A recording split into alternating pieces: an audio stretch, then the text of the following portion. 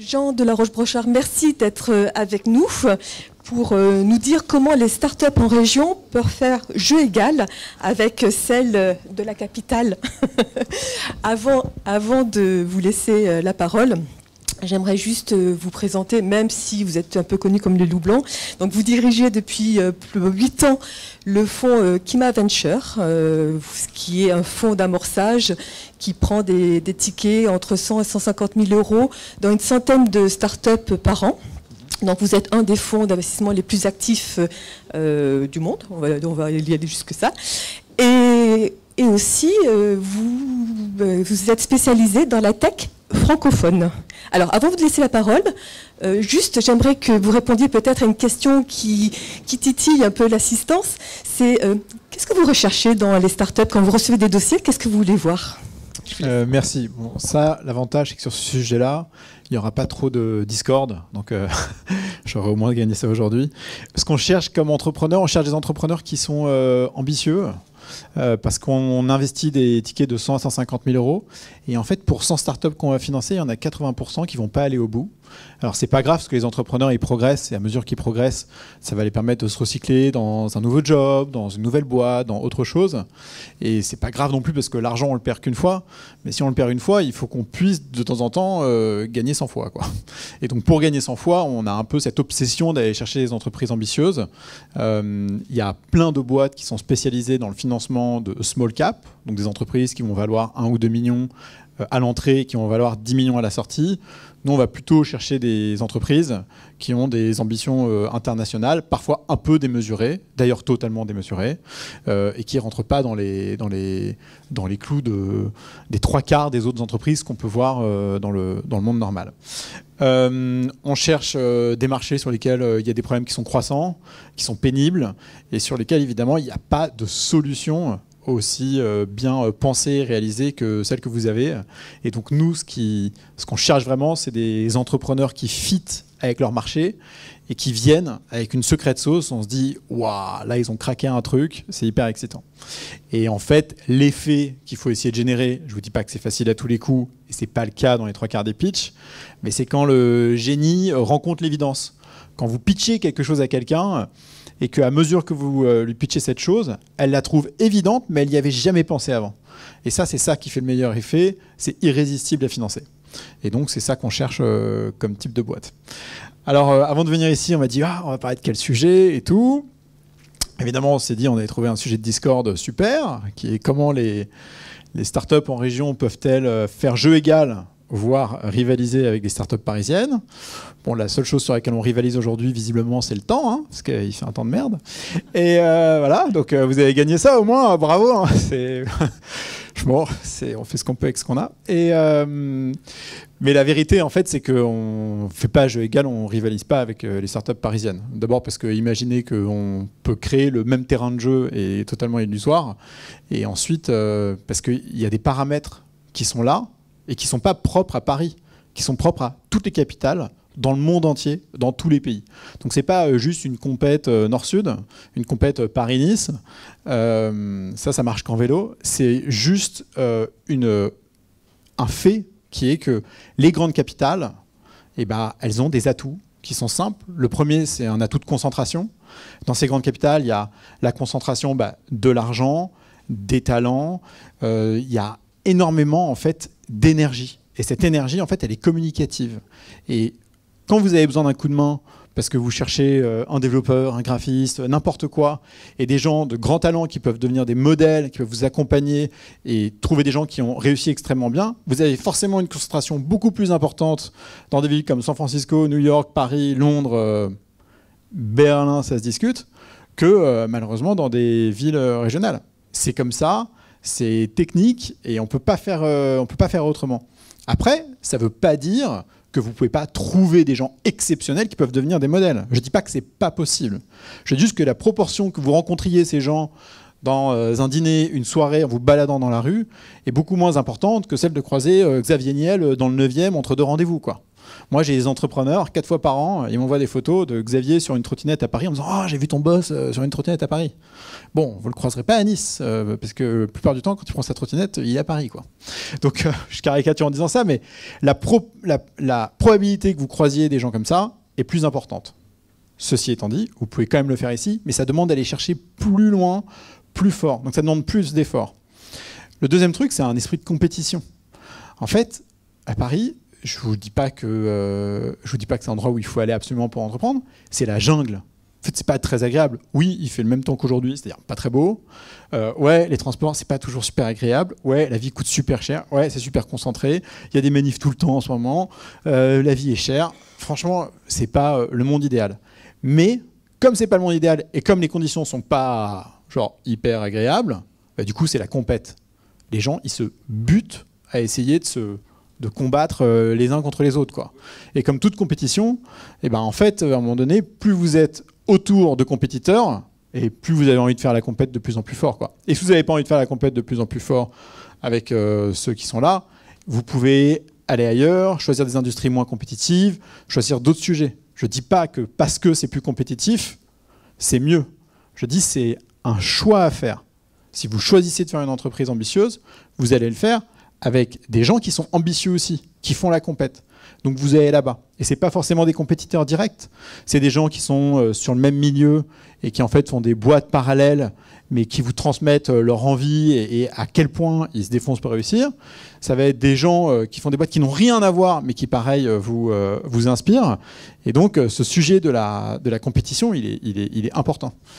Le troisième sujet qui est moi je trouve terrible, hein, mais c'est que dans un environnement concentré, ce que vous avez aussi, c'est que vous avez la compréhension. Les gens à qui vous parlez autour de vous, ils comprennent ce que vous êtes en train de faire. Salut, je suis en train de créer ma start-up. Ah ouais, je comprends. J'ai d'autres gens que je connais qui créent leur start-up.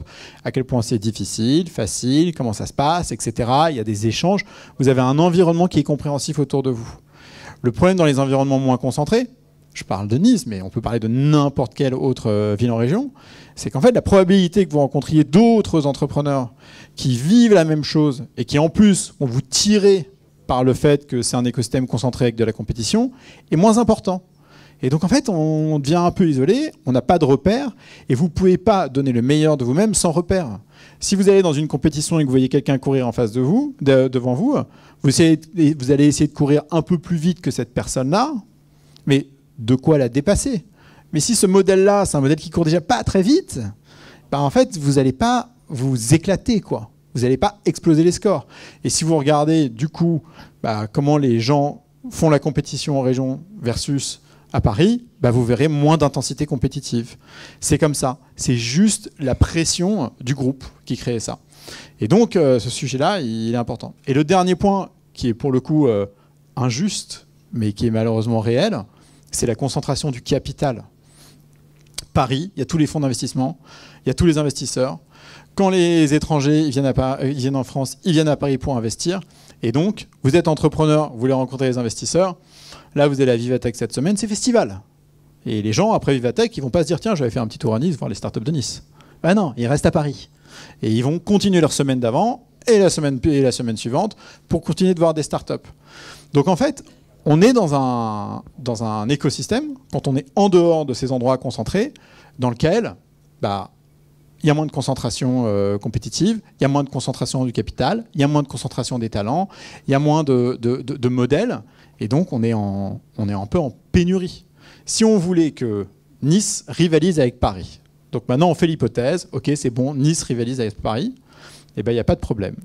Il faudrait avoir plus de talents, plus de capital, plus de boîtes, plus de tout en fait. Il faudrait recréer un écosystème concentré.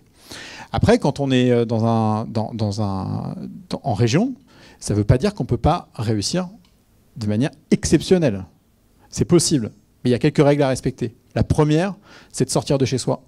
Il faut que vous preniez un avion. Vous allez à New York, vous allez à Londres, vous allez à San Francisco, vous allez à Paris. Vous sortez, vous allez voir ce que c'est qu'un écosystème concentré. Parce que si vous n'avez pas ces référentiels-là, vous ne pourrez pas vous donner au niveau de ces référentiels on ne comprend que ce qu'on voit. On ne comprend que ce qu'on nous dit, et l'évidence n'est une évidence qu'une fois qu'elle a été euh, racontée. Quoi. Et ben, c'est exactement la même chose. Vous ne ressentirez que cette pression compétitive, qui là aujourd'hui peut vous paraître un peu insultante, que lorsque vous la verrez. Donc allez faire un tour à San Francisco, à New York, à Londres, pour pas citer Paris, parce que maintenant en fait c'est pas la compète Nice versus Paris, c'est Nice versus le reste du monde. Allez là-bas et revenez et vous verrez que l'énergie que vous allez déployer localement pour votre boîte, elle sera pas du tout la même qu'avant, parce que vous aurez vu des modèles qui sont bien plus élevés en termes d'ambition, euh, d'envie, euh, de force, etc. Donc il y a ce sujet-là qui est important. Le deuxième sujet, c'est qu'il y a des spécificités locales. Vous n'allez pas créer euh, une industrie, une usine au centre de Paris dans le sentier, et vous n'allez pas créer une ESN au centre de Paris dans le sentier non plus. Je veux dire, les talents sont un peu moins chers en région. Il faut en profiter quand on fait des boîtes de services. C'est obligatoire. Je comprends même pas comment. Euh, je veux dire, la seule boîte que je connais qui a encore euh, des, des call centers euh, à Paris, au centre de Paris, c'est Free. Mais sinon, quand vous êtes une start-up et que vous avez des services à, à fournir, il n'y a pas de raison de ne pas les décentraliser en région. Et donc, ça ne veut pas dire que c'est Nice contre Paris. On peut avoir un bout à Nice, on peut avoir un bout à Paris, on peut avoir un bout à Bordeaux, on peut avoir un bout partout. Ce qu'il faut juste, c'est utiliser les atouts locaux pour pouvoir développer la meilleure boîte avec le meilleur rapport évidemment euh, coût efficience etc etc et puis euh, vous n'allez pas créer une usine aussi dans le centre de Paris et donc les écosystèmes où on parle de Sophia Antipolis on parle d'autres lieux comme ça dans le reste de la France sont des endroits incroyable pour réindustrialiser le pays et faire d'autres choses qui ne sont pas spécifiquement des start-up tech euh, complètement euh, digitalisées. Mais les start-up tech complètement digitalisées, vous l'avez vu avec le Covid, tout le monde s'est mis remote, remote, et donc on s'est dit, ah bah tiens, comme tout le monde s'est mis remote, pourquoi est-ce que Nice, par exemple, pourrait pas rivaliser avec Paris si moi, de toute manière, tous mes employés sont dispatchés partout dans le monde, partout en France, etc. Et eh ben en fait, parce qu'on a réalisé pendant les deux dernières années que le remote, ça fonctionnait moyennement. Ça fonctionne pas très bien en réalité. Les gens, ils sont plus efficaces et plus heureux au bureau, et on a besoin d'imposer de la présence. Facebook, ils ont dit full remote, yalla, euh, c'est festival. Aujourd'hui, maintenant, c'est trois jours sur cinq obligatoire. Et ça va revenir comme ça dans toutes les boîtes. Donc, en plus, la vue de l'esprit comme quoi on peut être basé n'importe où pour créer une boîte de n'importe où, elle est fausse parce qu'en réalité, on a besoin de lieux physiques pour que les gens y bossent. Quoi. Donc, mais ceci dit, on a quand même des atouts formidables quand on est euh, dans le sud, et donc il faut les utiliser. Ce qu'il faut, en revanche, c'est penser global, penser ambitieux, etc. Moi, j'adore échanger avec les entrepreneurs euh, euh, en région, parce qu'ils ont quelque chose d'assez pur et d'assez candide chez eux. Vous leur demandez comment ils ont fait. Oh, bah moi, j'avais 16 ans, à un moment donné, je me suis posé des questions sur tel et tel sujet, j'ai creusé, j'ai cherché, j'ai trouvé, j'ai développé. Et ils ont commencé à craquer des trucs qui, sont franchement remarquables. Et tu leur dis, OK, et après? Et en fait, ils savent pas après. Ils bloquent. Ils sont, comme figés. Et ils sont figés parce que quand ils en parlent à leurs parents, leurs parents leur disent bah, euh, non, mais je sais pas en fait, start-up de quoi tu parles, ça ne me parle pas. Quand ils en parlent autour d'eux à leurs amis, bah, en fait, ils sont pas dans des boîtes, ils ne sont pas dans des startups, ils ne sont pas en train de vivre la pression de toutes les licornes dont on parle. Alors on peut cracher tant qu'on veut sur les licornes, mais les licornes, c'est un endroit compétitif qui est très bon pour se développer, en tout cas pour développer de la résistance à l'effort, de la résistance au travail, et voir aussi ce qu'il faut faire et ne pas faire dans les grosses boîtes euh, tech euh, qui ont levé beaucoup d'argent. Et donc en fait, ils n'ont pas de repères. Et donc c'est pour ça qu'à un moment donné, il faut qu'ils sortent de là pour aller chercher des repères dans d'autres euh, géographies, quitte à revenir ensuite pour réinsuffler ces repères à d'autres entrepreneurs, à leurs employés, etc. Donc ça ne se fait pas en 24 heures, ça ne se fait pas en 3 ans, ça se fait peut-être en 10, mais chaque entrepreneur, sans exception, qui quitte Nice pour aller dans un endroit, type San Francisco, Londres, New York, Paris, je vous donne juste cela, qui revient pour insuffler cette même énergie à d'autres entrepreneurs, à des employés, chacun de ces entrepreneurs contribue aux entrepreneurs suivants jusqu'à avoir un écosystème suffisamment concentré pour avoir de plus en plus de probabilités d'avoir des pépites. Parce qu'après, c'est mathématique. Plus vous avez de gens, plus vous avez de probabilités de réussir. Ce qui se passe sur Paris, c'est que ça polarise l'attention. Mais la raison pour laquelle ça polarise l'attention, c'est pas parce que c'est mieux, c'est parce que c'est beaucoup plus gros. C'est tout, c'est beaucoup plus fat, quoi. Euh, vous avez 10 euh, millions de personnes à Paris, euh, forcément, ça se voit hein, quand il y a des boîtes. donc ce truc-là, il est, il est critique. Et, et après, 80% des boîtes, c'est pas, enfin c'est à Paris, à Nice, c'est partout. 80% des boîtes qu'on finance, ne vont pas réussir. Et ce n'est pas lié à la géographie. Partout, c'est le même ratio. En revanche, on atteint des paliers. quoi. C'est ça la problématique qu'on a en région, c'est qu'on n'a pas les modèles pour aller chercher des paliers suffisants, euh, supplémentaires, et on s'arrête à des paliers parce que la réussite locale est suffisante et qu'on n'a pas les modèles euh, pour aller plus loin. Quoi. Donc, on n'est pas là pour faire la guéguerre entre Paris et Nice. Moi, en plus, le trois quarts du temps, j'habite dans le sud de la France avec Aix-en-Provence, hein, donc c'est pas moi qui vais vous dire que Paris c'est mieux que le sud, au contraire. Hein. Euh, mais ça n'empêche que c'est là-bas que ça se passe et que c'est là-bas qu'il faut aller au moins s'inspirer, quitte à rester ici pour réinsuffler cette énergie dans l'écosystème local. Voilà, merci.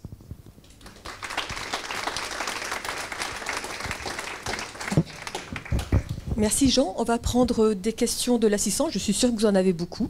Donc n'hésitez pas. Qui veut commencer? Alors, je commence, Jean, si tu veux bien. Qui n'est pas d'accord déjà Tu vois, tu peux lever la main, tu prends ceux qui ne sont pas d'accord et pourquoi? Mathilde? Jean, tu peux nous euh, dire la dernière success story que, tu as eue récemment? La dernière success story? Une boîte. Euh, tu sais ce qu'on dit, hein, les bonnes boîtes, c'est comme les bonnes blagues, on en connaît plein, on s'en souvient jamais. Euh, donc, donc voilà, je peux dire le dernier, c'est quoi le dernier bon deal francophone qu'on a fait? C'est une boîte tech qui fait de, ce qu'on appelle de l'open source billing, donc tous les sujets de gestion de paiement euh, sur les plateformes en open source qui peuvent être très complexes pour des produits euh, complexes à vendre, qui s'appelle Lago, et ça c'est une boîte qu'on a faite euh, récemment. Voilà. Et là, le truc dont je suis très content, qu'on essaye de faire, et donc d'ici à ce que enfin, ça se décantera dans les, dans les mois qui viennent, mais on essaye de faire. donc, quand vous êtes une boîte française, que vous allez aux États-Unis, vous êtes obligé de ce qu'on appelle de flipper c'est-à-dire que votre boîte devienne américaine. C'est triste parce que ça veut dire qu'en fait, euh, en fait, elle quitte le territoire malgré le fait que vous ayez beaucoup de gens en fait qui bossent sur le territoire pour cette boîte-là. Mais pour aller aux États-Unis, c'est plus simple. Et bien là, aujourd'hui, on est en train de faire flipper pour la première fois une boîte américaine en France, avec euh, des gens qui ont très très bien réussi par le passé et qui, parce qu'on a des spécificités techniques très fortes en France, ont décidé de venir la monter à Paris. Et donc, euh, on est très excité à l'idée d'avoir ce, tout premier euh, cas de boîte américaine qui vient à Paris et pas l'inverse. On peut avoir un nom? Non. Alors en fait, la solution, ce serait d'être multisite, d'être euh, basé en province et avoir aussi une implantation à Paris dans Station F par exemple, pour ne citer une au hasard, ou dans un espèce de coworking, quelque chose comme ça. Eh ben, la première chose, c'est de s'inspirer. En fait, il faut aller s'inspirer. Donc il faut sortir. Il faut découvrir le monde, quoi. Et il faut il aller côtoyer euh, les plus ambitieux, les plus compétitifs, parce que c'est en côtoyant les plus ambitieux et les plus compétitifs qu'on voit où sont les limites. Et après, vous choisissez. Hein. Vous pouvez doser. Hein. C'est votre choix de vie. Mais il euh, faut d'abord aller s'inspirer. Une fois qu'on est inspiré, on peut revenir, recréer cette atmosphère ici. Et euh, effectivement, il y a beaucoup de modèles, on a beaucoup de boîtes qui en fait euh, sont été créées à Paris et ont rapidement euh, délocalisé avec des équipes à Nantes, des équipes à Bordeaux, des équipes à Nice, des équipes à Aix. Il y a, on a quand même une problématique majeure, on va pas se le cacher, hein. c'est que c'est plus facile de faire Bordeaux, Nantes, Aix, Paris que faire Nice, Paris. Parce que bah, l'avion c'est sympa, mais c'est bon d'abord en termes de bilan carbone c'est moyen, mais en termes de praticité c'est pas incroyable. Et donc, euh, si seulement on avait le train euh, Nice-Paris, ça serait quand même cool. Quoi. Alors, on a le train Nice-Paris. Non, je parle du vrai train. Pas le faux train, le vrai. Des questions Pardon. Rebonjour Jean. Euh, je voulais savoir, tu, parlais de Sophia Antipolis. Euh, qui est, enfin moi je trouve qu'il y a un endroit merveilleux euh, qu'on a la chance d'avoir. Je voulais savoir quelle était la, comment vous voyez les Parisiens, enfin quelle était la perception de, de Sophia Antipolis à Paris? Je vais te faire une réponse qui en fait est vraie aussi pour Paris. Les gens vont venir à Station F, vont dire Waouh, Station F, c'est formidable. Ils vont aller venir à Sophia Antipolis, ils vont dire Sophia Antipolis, c'est formidable. C'est des lieux tellement formidables que les gens y restent trop. Et donc, pareil, ils ne s'extirpent pas assez la base, quand tu rentres dans un incubateur, c'est d'abord de te faire sortir de l'incubateur, d'aller voir ailleurs pour revenir dans l'incubateur. Sinon, tu es enfermé dans ton microcosme et ton modèle ne sont que les gens autour de toi. Donc moi j'adore ces modèles-là. Station F, tu vois, c'est la famille. Euh, Sophia Antipolis, euh, c'est formidable. Mais c'est des écosystèmes qui sont enfermants que tu le veuilles ou non. Et donc l'objectif, par exemple, d'un Station F, c'est de faire venir un maximum de gens ambitieux pour aller insuffler euh, cette ambition au sein de Station F. Mais il faut aussi pousser les gens à sortir. Et on en revient toujours à la même chose. C'est si tes repères euh, sont pas les bons, enfin sont pas les bons. Si tes repères sont manquent un peu d'ambition, manquent un peu de force, de compétitivité, etc. Bah, tu vas rester dans ce dans cet état d'esprit là. Et c'est et c'est dommage. Franchement, c'est dommage. C'est comme les enfants, c'est comme l'éducation. C'est ce qu'on voit dans les écoles dans lesquelles euh, ils sont tirés vers le haut et ceux dans lesquels en fait euh, on rame euh, pour aller faire traîner les gens derrière, etc. Bon, bah, c'est l'ascenseur social dans le mauvais sens où à la fin, tu as ceux qui étaient dans les bonnes écoles et qui explosent des scores et ceux qui n'étaient pas dans les bonnes et qui sont à la traîne. Et c'est triste, mais c'est le sens de l'histoire. C'est une question de repère. Question?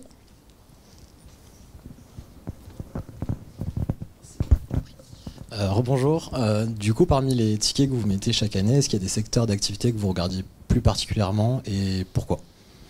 Alors, on ne regarde pas de secteur d'activité plus particulièrement. On est souvent plutôt euh, aspiré par les sujets qui sont un peu chauds. Quoi. Donc, tu prends l'intelligence artificielle, c'est bon, je suis devenu allergique, tout va bien.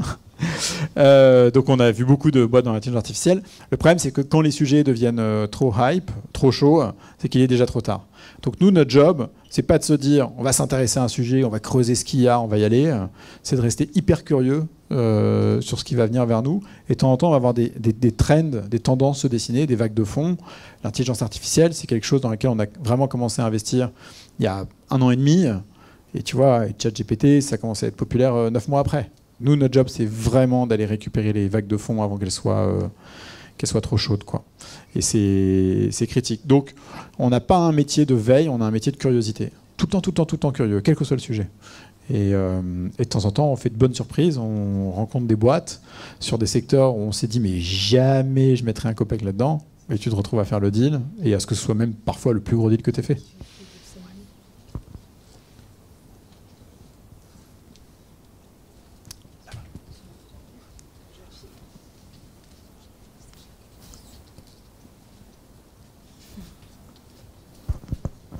Est-ce que dans le passé, vous avez jamais euh, euh, surpassé le montant de 150 000 d'investissement? En fait, avec Kima, on met entre 100 et 150 000 euros 100 fois par an. Et après, on a un autre fonds d'investissement qui s'appelle New Wave, euh, qui existe depuis trois ans maintenant, et avec lequel on met des tickets entre 500 000 et 4-5 millions d'euros dans 5 à 7 deals par an. Et la différence entre les boîtes de Kima et les boîtes de New Wave, c'est très simple. Sur une échelle de conviction et d'ambition, le niveau de conviction et d'ambition au démarrage sur les boîtes de Kima peut être plus faible. Parce qu'en fait, on joue l'optionalité. Alors qu'avec euh, New Wave, on a des boîtes qui, en termes de conviction et d'ambition au démarrage, sont beaucoup plus importantes, parce que c'est des boîtes de conviction dans lesquelles on va passer plus de temps, dans lesquelles on a mis plus d'argent, et donc euh, il y a un peu plus de... il y a un peu plus d'enjeux. Quoi. Mais c'est toujours pour un seed investment C'est toujours de l'amorçage. C'est ce qu'on sait faire et c'est ce qu'on aime faire. Parce que c'est parce que c'est aussi là que tu fais des paris contre tout le monde dans lesquels les, gens ne croyaient pas. Moi, je, ne réussis mon métier que quand j'investis dans des entrepreneurs que les gens ne voulaient pas financer et qui réussissent à la fin. C'est ça qui me fait kiffer. Faire le même deal que tout le monde où tout le monde gagne, c'est pas drôle, quoi, tu vois. La, la compète, c'est quand tu gagnes contre les autres, pas avec les autres. Merci.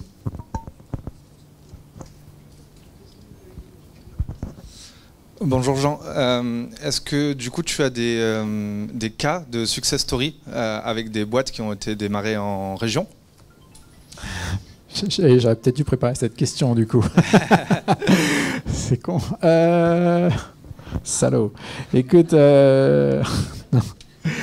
mais tu vois, l'accélérateur Allianz, il y a quelques années, on a fait une boîte qui s'appelle Bodyguard ça fait partie des belles boîtes de notre portefeuille qu'on est très fiers d'avoir accompagné. C'est souvent d'ailleurs une des boîtes qu'on cite euh, quand on parle de Nice. Et donc euh, il en faut plus euh, des comme ça, mais c'est un bon exemple. Et en plus, c'est un exemple de boîte avec un impact au-delà du, national, très vite, tu vois, à l'international, très rapide. Et donc ça, c'est super. après, Je vais te donner une boîte de 42 qu'on n'a pas financée, qui a toujours été bootstrappée, qui marche très bien, qui s'appelle Crisp, euh, qui est basée à Nantes. C'est exceptionnel. Euh, tu vas aller à, Bordeaux, tu as les gens de chez Lumi, au Madar, bah, ils sont bordelais, ça cartonne et tout. Donc, des boîtes ex, voyage privé. Très bon exemple aussi. Et donc, tu en as plein des exemples. Mais le truc, c'est que c'est des. Ça, ça fait pas assez de champignons, quoi. Tu vois, t'en as un peu ici et là et tout, et on aimerait que, on aimerait qu'il y ait un peu plus de, de, de, ce soit un peu plus dense, si c'était possible. Une dernière question? Bonjour. Euh, tu parles beaucoup de l'esprit de compète dans l'écosystème concentré.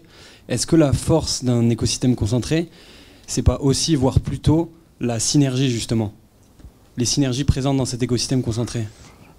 Alors, tu as raison. Moi, j'ai un billet parce que je ne fais pas de sport collectif, je ne fais que des sports individuels. c'est terrible. Euh, du coup, euh, c'est vrai que je vois le sujet d'un point de vue compétition individuelle. Mais c'est vrai que bah, c'est aussi un sport d'équipe. Et donc, effectivement, tu as beaucoup plus de talent, beaucoup plus de synergie. Les gens échangent beaucoup plus. Et, ce... et c'est très, très vrai. Hein. Euh, et d'ailleurs, un sujet qui est hyper important. si vous regardez les gens quand ils quand ils s'entraînent en compète, les trois quarts d'entre eux, ils essayent de faire les, exercices et des efforts les plus intenses possibles en espérant dépasser leurs limites tout le temps. Et en fait, on apprend que le meilleur moyen de dépasser ces limites, c'est pas de se buter H24, c'est de passer 80% de son temps dans des zones d'endurance fondamentales pour bâtir le, le, foncier et après aller chercher les zones de seuil, les zones où on se fait mal, etc la difficulté des écosystèmes concentrés, mais je pense que c'est malheureusement l'exact inverse de l'autre côté. Dans les écosystèmes qui ne sont pas assez concentrés, c'est qu'un système concentré, les gens se butent jusqu'à en laisser leur santé physique et mentale. Et à l'inverse, dans des écosystèmes pas assez concentrés, il n'y a pas assez la notion de l'effort extrême qui fait qu'en fait on est tout le temps en espèce d'endurance fondamentale, mais on ne travaille pas assez dans le dur. Et donc euh, il faut arriver dans les deux cas à balancer euh, les zones. quoi pour faire ça plus avec un peu plus d'équilibre. Je déteste parler de work-life balance. Je pense que c'est une que c'est très fallacieux comme idée, euh, mais il y, y, a un peu de ça dans il y a un peu de ça. Merci Jean, merci beaucoup merci. pour cette intervention.